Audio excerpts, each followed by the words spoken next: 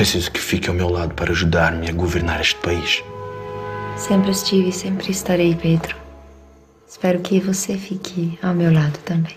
Vou fazer em 13 dias muito mais do que meu pai fez em 13 anos pelo Brasil.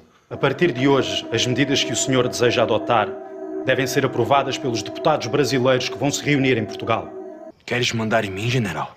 Pega esse comunicado da corte. Enculão! O que vai fazer? Eu sou o príncipe regente. Sou um Bragança legítimo e sou herdeiro de Portugal, do Brasil e dos Algarves. Os reis já não fazem mais o que querem, Dom Pedro. O poder agora está na mão das cortes portuguesas, não do rei. Deve acatar as ordens da coroa. Ou poderá ser levado à força como vosso pai para Portugal. Tire esse homem daqui! Pedro, por favor, Tire esse homem Oh, daqui! Meu Deus! Ah, Cholaça, me ajude aqui!